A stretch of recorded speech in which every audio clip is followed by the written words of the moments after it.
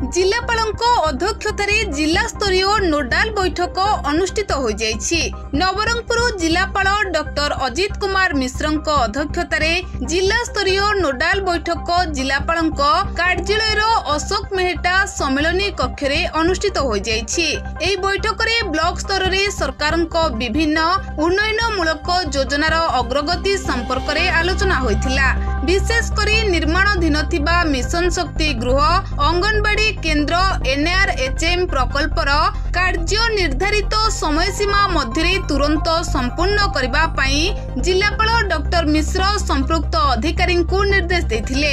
ଜିଲ୍ଲାର ନିର୍ମାଣାଧୀନ ଥିବା ସମସ୍ତ ବିଦ୍ୟାଳୟ ରୂପାନ୍ତୀକରଣ କାର୍ଯ୍ୟ ଆସନ୍ତା ସେପ୍ଟେମ୍ବର ପଚିଶ ତାରିଖ ସୁଦ୍ଧା ସମ୍ପୂର୍ଣ୍ଣ କରିବା ପାଇଁ ସମ୍ପୃକ୍ତ ଅଧିକାରୀମାନଙ୍କୁ ନିର୍ଦ୍ଦେଶ ଦେଇଥିଲେ। ଚଳିତ ଖରିଫ ଚାଷ ନିମନ୍ତେ ଜିଲ୍ଲାର କୃଷକମାନଙ୍କ ନିର୍ଦ୍ଧାରିତ ସମୟ ମଧ୍ୟରେ ଅନଲାଇନ ପଞ୍ଜୀକରଣ କରିବା ନିମନ୍ତେ ସମ୍ପୃକ୍ତ ଅଧିକାରୀମାନଙ୍କୁ ଜିଲ୍ଲାପାଳ ଡକ୍ଟର ମିଶ୍ର ନିର୍ଦ୍ଦେଶ ଦେଇଥିଲେ।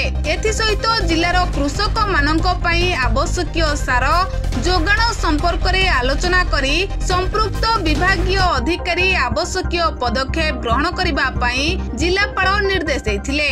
ଏହି ବୈଠକରେ ନୋଡାଲ ଅଧିକାରୀ ପିଡି ଡିଆରଡିଏ ରତ୍ନାକର ସାହୁ ଅତିରିକ୍ତ ଜିଲ୍ଲାପାଳ ଭାସ୍କର ରୋହିତ ଉପଜିଲ୍ଲାପାଳ ଅଗ୍ରୱାଲ ଅକ୍ଷୟ ସୁନୀଲଙ୍କ ସହ ଜିଲ୍ଲାର ଅନ୍ୟାନ୍ୟ ବରିଷ୍ଠ ଅଧିକାରୀ ପ୍ରମୁଖ ଯୋଗ ଦେଇଥିଲେ।